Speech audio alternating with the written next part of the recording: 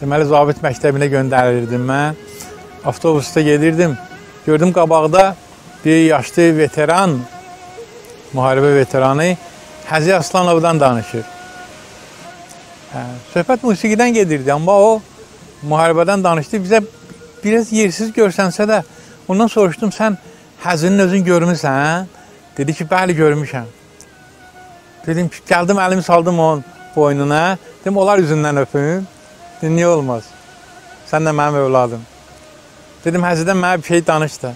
Dedi, biz sıraya düzülmüşdük. Həzi Aslanov gəldi, bizim qarşımızdan keçəndə e, ilkinci, birinci adama çatanda dayandı. Ona görə də birinci adam özünü təqdim elədi. Dedi, Abbasov. İkinci Hüseynov. Uğursu Əkbərov. Belə deyəndə Həzi ahəstə addımlarla gəldi, onun göz yaşlarını gördük biz. De görürsən, mənim millətim hara getsə, Aşuranı özü ilə aparır, Hüseyni özü ilə aparır.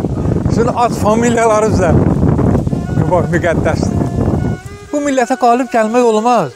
Həzinin millətinə, Mehdinin millətinə qalib gəlmək. Fikir ver, Mehdi sahibə zaman ağanın adıdır. Hüseynzadə, Hüseyndən doğulan mənasındadır.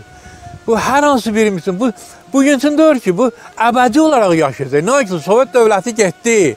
Amma igidliyimiz bütün insanlar üçün, bütün igidlik sevənlər üçün, bütün Hüseyn aşiqləri üçün nümunə olub qalacaq inşallah Taala.